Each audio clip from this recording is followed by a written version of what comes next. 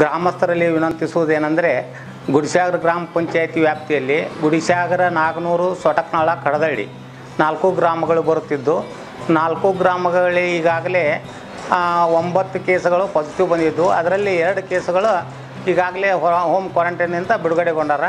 ಇನ್ನು ಏಳು case running ಅದಾವ.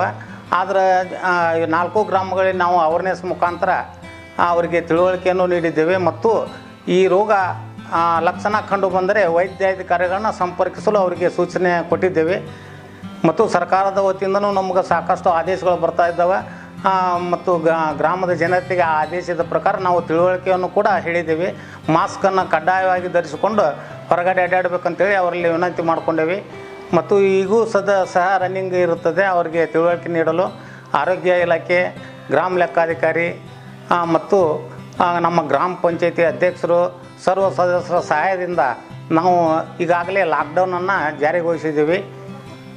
ಈಗ ಅವರು ಜನರಿಗೆ ಎಲ್ಲ ತಿಳುವಳಿಕೆಯನ್ನು ನೀಡಿದ್ದೀವಿ.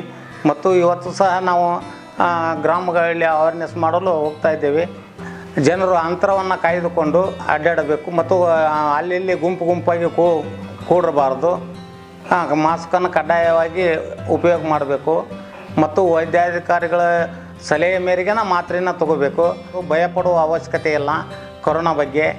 ಹಾಂ, ಅದು ದೊಡ್ಡ ರೋಗ ಅಂತೇಳಿ ತಿಳ್ಕೊಬೇಡ್ರಿ. ಅದರಿಂದ ಗುಣಮುಖರಾಗ್ರಿ ಅಂತೇಳಿ ಎಲ್ಲ ಗ್ರಾಮಸ್ಥರಲ್ಲಿ ವಿನಂತಿಯನ್ನು ಮಾಡ್ಕೊತೇವೆ.